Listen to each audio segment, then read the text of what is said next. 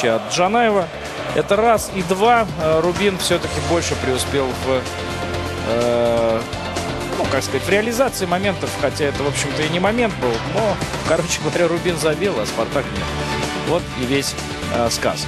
Ну что ж, э, пожалуй, что и все. 9 часов. Отличное время, как мне кажется, для проведения э, матчей. Хорошая получилась игра. Очень даже хорошая. И никаких вообще проблем, я вас уверяю. Вот спрашивали, а как вот после чемпионата мира комментаторы будут работать? Да прекрасно совершенно. Хороший матч. Удары по воротам, моменты, дриблинг, э, единоборство. Все было сегодня вполне по футбольному. Смотрите чемпионат России на НТВ+.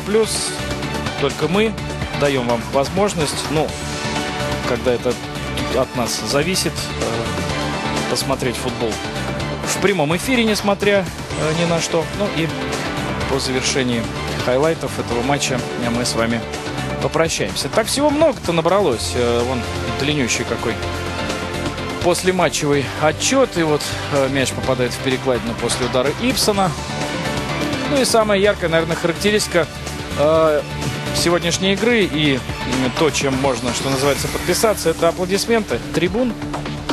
Редко, когда команду, которая проигрывает три матча подряд, э, отправляют в раздевалку не свистом, а аплодисментами. Я думаю, что это аплодисменты еще и э, Валерию э, Карпину и знак поддержки со стороны болельщиков. Но у Спартака есть руководитель, который в связи с этими тремя поражениями сделает свои собственные выводы.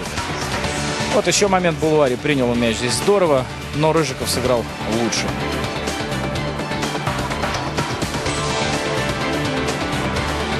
Может быть, э, может быть и не было возможности получше пробить Уари, но это все равно не умаляет заслуг Рыжикова.